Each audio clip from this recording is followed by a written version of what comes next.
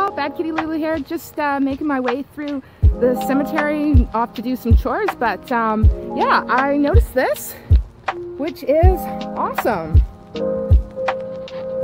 They're gonna restore this lovely signature piece of Mountain View, which is fantastic. It's had a few little updates here and there over the years, but for the most part, um, it really hasn't seen the care and love that it deserves. So good on you, Mountain View. I always love seeing the upgrades that you guys do and the restorations. It's such a beautiful place. It really deserves the attention. Thanks.